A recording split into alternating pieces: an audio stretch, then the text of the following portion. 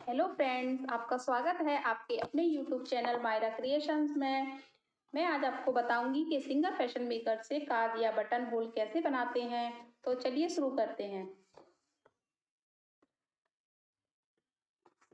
सबसे पहले button hole foot को लगाना है।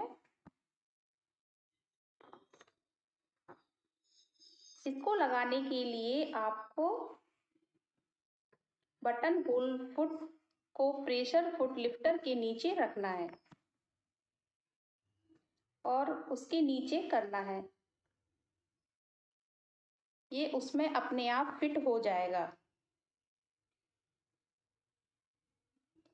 इसके बाद आपको कपड़े पर जितना बड़ा काज बनाना है, एक निशान लगा लें कुछ इस तरीके से। इसके बाद स्टिच लेंथ डायल को ये हमें इस तरीके से लगाना है निशान पे।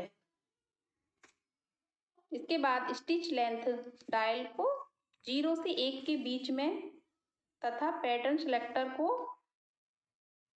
पैटर्न सिलेक्टर डायल को एक नंबर पर सेट करना है।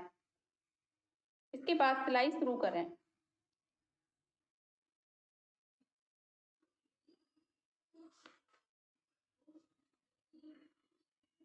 जब सिलाई पूरी हो जाए तो सिलेक्टर डायल को नंबर दो पर सेट करें।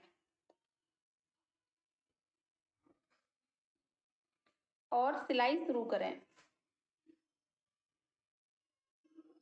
इसके बाद डायल को तीन नंबर पर सेट करें और सिलाई शुरू करें।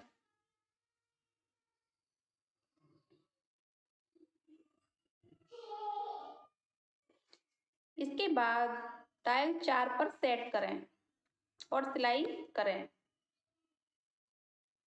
आपका काज बनके तैयार है। हमारी वीडियो को पूरा देखने के लिए आपका बहुत बहुत धन्यवाद। मैं आपको दिखाऊँगी।